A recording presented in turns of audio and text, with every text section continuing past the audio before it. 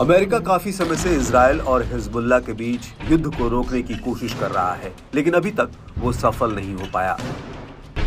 जब अमेरिका से समर्थन पाने वाला इसराइल उसका कहना नहीं मानने को तैयार है तो फिर हिजबुल्ला की तो कोई बात ही नहीं।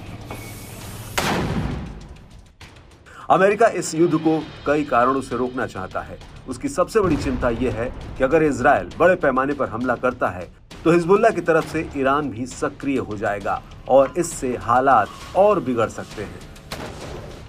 इसको लेकर अमेरिकी राष्ट्रपति जो बाइडेन के मिडिल ईस्ट के दूत अमोस होस्टीन ने पिछले हफ़्ते लेबनानी अधिकारियों को चेतावनी दी कि अगर हिजबुल्ला अपने हमले जारी रखता है तो अमेरिका इसराइल को हमले करने से नहीं रोक पाएगा। मिडिल ईस्ट में अमेरिकी दूत होस्टीन पिछले हफ़्ते लेबनान में थे। और उन्होंने हिजबुल्ला और इसराइल के बीच सीमा पर गोलीबारी को तुरंत कम करने के लिए कहा। उन्होंने इसराइल का भी दौरा किया और वहाँ के प्रधानमंत्री बेंजामिन नेतन्याहू और रक्षा मंत्री के साथ ही विपक्षी नेताओं से बातचीत की।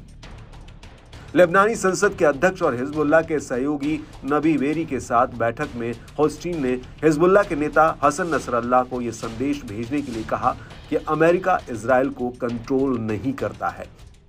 उन्होंने हिजबुल्ला को सीमा तनाव बढ़ाने के बजाय इसराइल के साथ इनडायरेक्ट तरीके से बातचीत करने की सलाह दी।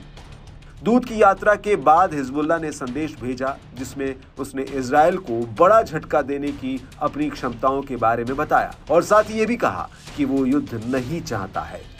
इधर अमेरिकी अधिकारी इस बात को लेकर चिंतित हैं कि गाजा इसराइल युद्ध के बीच इसराइल और हिजबुल्ला के बीच युद्ध की आशंका बढ़ती जा रही है। अगर ऐसा होता है तो क्षेत्रीय तनाव बढ़ जाएगा और अमेरिका इस युद्ध में और उलझ जाएगा।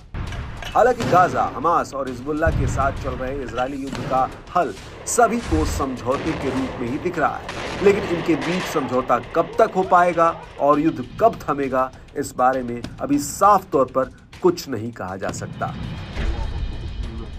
gros, on va que